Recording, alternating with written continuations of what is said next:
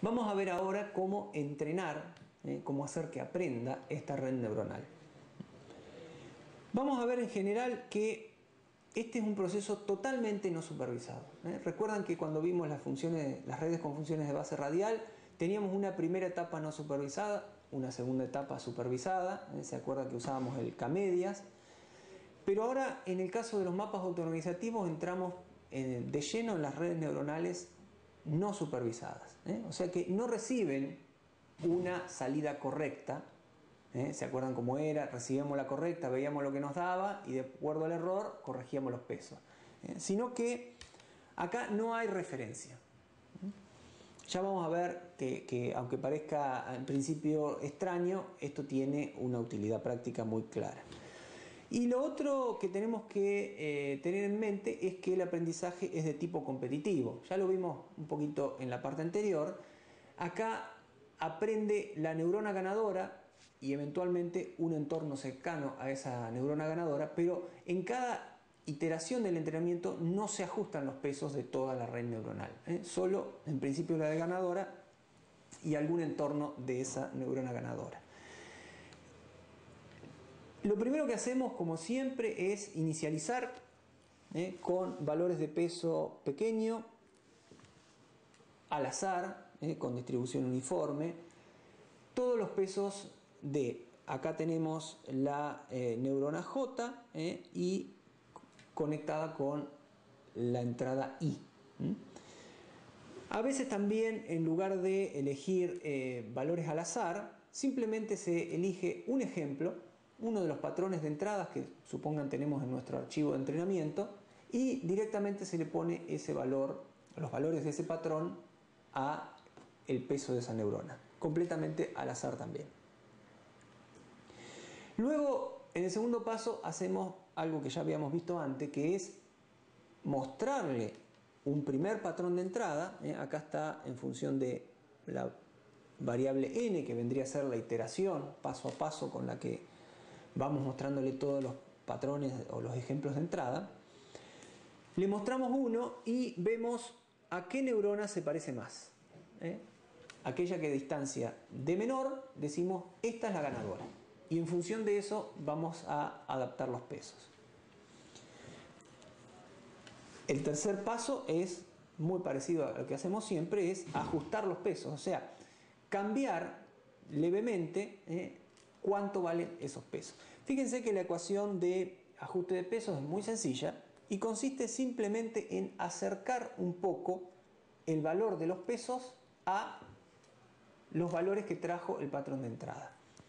¿Qué tan poco, qué tan mucho es la variable eta, que va a ser la velocidad de aprendizaje, como ya se debe haber imaginado? Y acá lo que hacemos es restamos el patrón de entrada el vector. ¿eh? Fíjense que son vectores, están todos en negrita. El vector del patrón de entrada con los pesos de la neurona ganadora. ¿eh? Esa diferencia vendría a ser el vector de error. ¿eh? Por lo tanto, le sumamos a lo que tenían los pesos actualmente ese vector de error. Con lo cual, vamos a reducir el error que hay entre el vector de pesos y el factor de entrada. O sea que vamos a acercar un poco ¿eh? esta, con esta diferencia, con ese error, ¿eh? vamos a acercar un poco los pesos al patrón de entrada. ¿eh? Y eso es todo lo que hacemos para el entrenamiento. Acercamos un poquito, depende de la tasa de aprendizaje, el vector de la neurona ganadora hacia el vector del patrón de entrada. Esto es para cualquier neurona que se encuentre en el entorno de la ganadora y por supuesto para la ganadora también. ¿no? Si la neurona no se encuentra en el entorno de influencia de la ganadora, directamente no hacemos nada. Dejamos el peso como estaba. Finalmente se terminó el algoritmo. ¿eh? Volvemos a 2, volvemos al paso 2, o sea, le volvemos a mostrar otro patrón ¿eh? hasta que no obtengamos ningún cambio significativo en el mapa.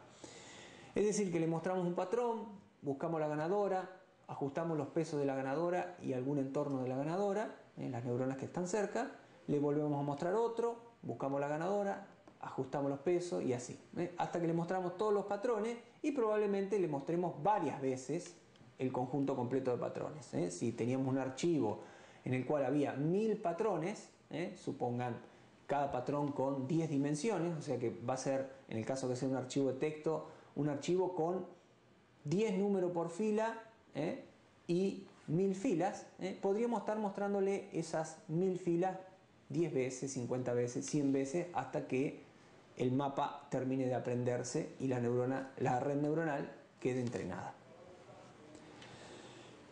Algunas consideraciones prácticas respecto al entrenamiento. Uno, que generalmente utilizamos mapas cuadrados, ¿eh? a pesar de que hay lineales, hexagonales, hay tridimensionales, hay de todo un poco. ¿eh?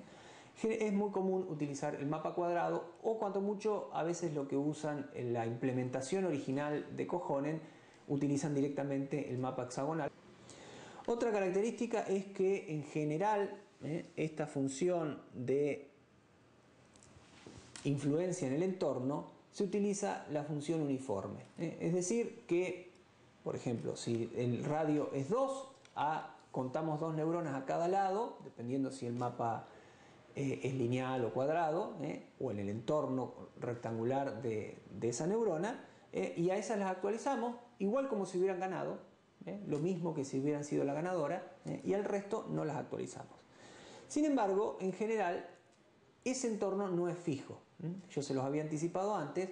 Ese entorno va variando a lo largo del, entrenamiento. O sea que en algún momento puede valer 4 o 5, después Puede valer 3, 4, 3, 0. Va tomando distintos valores y vamos a ver con qué criterio y para qué sirve eso. Lo otro es que en general la velocidad de aprendizaje tampoco es fija, ¿eh? sino que va decreciendo a lo largo del entrenamiento. Al principio es grande, permite que haya ajustes importantes y luego al final ya se hacen ajustes finos, por lo cual se elige una velocidad de aprendizaje pequeña. Particularmente vamos a ver un poquito más en detalle cómo es que podemos manejar este entorno y eh, esta velocidad o tasa de aprendizaje. Se definen tres etapas básicas en el entrenamiento de un mapa autoorganizativo. Una primera etapa es la del ordenamiento topológico. ¿eh? Es un ordenamiento global, ¿eh? un ordenamiento de la estructura neuronal en general, y por lo tanto, en esta etapa se requiere que los entornos de influencia sean grandes, ¿eh? a veces llegan a tomar hasta la mitad del mapa. Por ejemplo, si tuviéramos un mapa de 10 por 10, podría ser un entorno inicial de 5. ¿eh? Las velocidades de aprendizaje también son grandes, es decir, le estamos permitiendo a los vectores de peso modificarse por cada vez que le mostramos un patrón, modificarse de manera importante. Y esta etapa, por supuesto, estos son criterios prácticos, eh, puede durar entre 500 y 1000 épocas, es decir, 500 veces que le mostremos el conjunto completo de datos, ¿eh? entre 500 y 1000 veces. Una segunda etapa es una etapa de transición entre esta etapa de ordenamiento y la etapa final que va a ser la de ajuste fino. Y en esta etapa de transición lo que vamos haciendo es ir reduciendo el entorno de influencia linealmente, en general linealmente, aunque hay otras alternativas, hasta 1. ¿eh? Podríamos haber empezado en el ejemplo que yo les dije con un entorno de 5. ¿eh? Supongamos que en esta etapa tenemos mil épocas, entonces usamos el entorno de 5 durante las 200 primeras épocas, después reducimos a 4 entre la 200 y la 400, Después reducimos a 3 entre la 400 y la 600, reducimos a 2 entre la 600 y la 800 y las últimas 200 las dejamos en 1.